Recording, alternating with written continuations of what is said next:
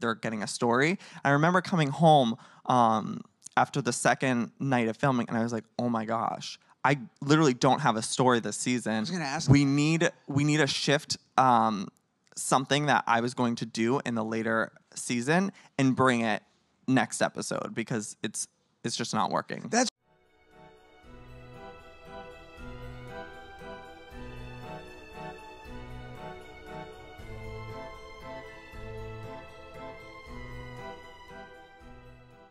Uh, are you going to do other worlds for other seasons?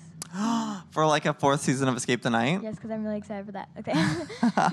Um, yeah, I mean, I have like four more seasons planned out in my you head. really? I do. Um, but I, uh, I mean, unfortunately, I don't get to decide that. So if I were to get the green light on another season, yes, it's already planned out in my head what it's gonna be, and the way that season three ends is pretty shukarina. Like wigs are going to be flying. Um, it's it's intense, and it will lead into a potential fourth season that um, will be really freaking cool. I don't doubt it. Great question. Thanks for that. We've got.